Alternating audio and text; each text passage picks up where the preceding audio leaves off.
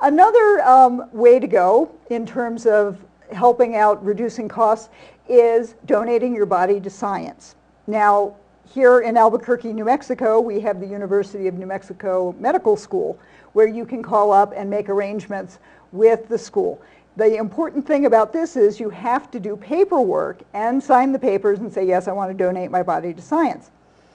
If you live in a town that does not have a medical school, there are national organizations such as one called MedCure, which can arrange to, you sign the papers with them, and they will pay for all the expenses of picking up the body, uh, taking it to wherever it would be, the body would be used for medical science research, surgical training. You certainly don't want a surgeon, you know, replacing a knee on a live person who hasn't done it much before. That's what cadaver, exactly. you know, donations are part of. So you can recycle your body and do good at the same time and save money for your family. Uh, MedCure would cremate the remains and return them to the family within two to four weeks. And of course, outside of that, they're not paying for any kind of memorial service you might have or uh, flowers or obituaries, things like that related to those kind of issues.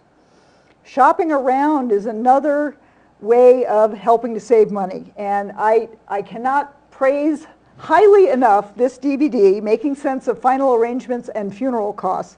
It uh, was produced by a lady named Kristen Lord, who was a hospice volunteer. And she wanted to help people who have a family member who is facing, you know, death to be able to call up a funeral home. So you actually see scenes of her talking on the phone, finding out about cremation, finding out about burial costs, and going in and making her own arrangements, which she was a little nervous about. But you know what?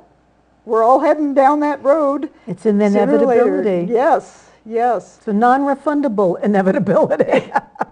Absolutely.